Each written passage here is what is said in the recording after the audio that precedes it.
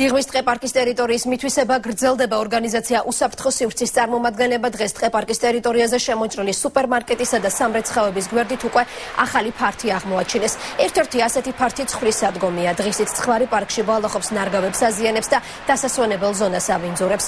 საერთო ანტისანიტარიას კიდევ უფრო ამძაფრებს კანალიზაციის პრობლემა. პარკის ტერიტორიაზე შემოჭრილ სავაჭრო და სხვა დანიშნულების ობიექტებს საკანალიზაციო სისტემა წლების განმავლობაში არ აქვთ, რის გამოც ფეკალური მასები პირდაპირ სკვერში მიედინება.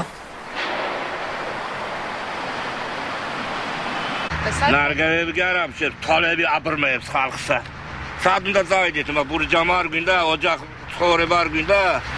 გასაგებია რომ გინდათ, მაგრამ ეს ხო პარკი არის. პარკი არის, რა პარკი არის? ეს არის საბარდელი. არ გაჩერდნენ. მათ არც დანაშაულის შეგრძნება არ აქვს, არც ელემენტარული სუნის შეგრძნება არ აქვს.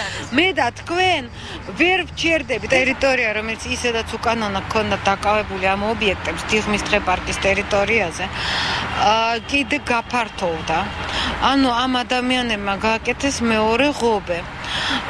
და მიითვისეს კიდე ნაწილი ტერიტორიის.